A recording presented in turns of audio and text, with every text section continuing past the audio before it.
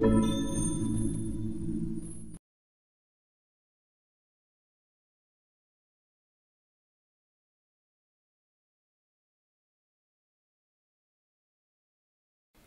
Sen is a gungaku formed by three kanji. The first two of them, Kanri, represents control or management. And the third kanji can have many interpretations. It can mean line as in a stripe. It can represent outline, contours, forms, division. It can also represent a line of action, the kind of approach one has, the policy.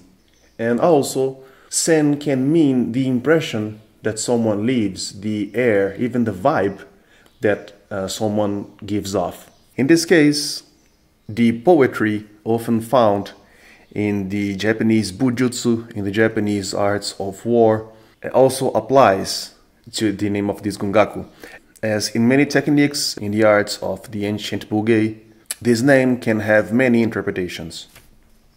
However, the core of this gungaku relates to the idea of creating an illusion during escape.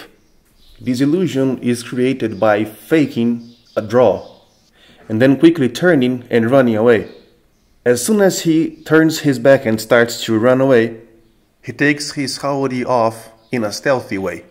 Remember that the size of the sleeves of the Japanese clothes is bigger than the size of the sleeves of the Western clothes. After practice, one can learn how to take his haori during his escape. It is very important that the shizen and the one that is chasing him are in a straight line. In this case, there are no zigzag movements, there are no swings. The reason for that is that the shizen has to draw his sword and then take his saya out and fit the saya on his back, between his back and the haori. The idea is that when someone is chasing other person in a fast running, the visual focus is centered on that person. Therefore, during the action, our brain tricks us and disregards many of the visual information that surrounds the person being chased, particularly if there is a mon the symbol of a family, on the center of the haori. Therefore, suddenly, once the shizen took his haori and the haori is hanging by the saya over the same line that he was running, he turns back and runs towards the chaser. This is a very fast movement and tricks the brain. The sword of the shizen is just behind the haori.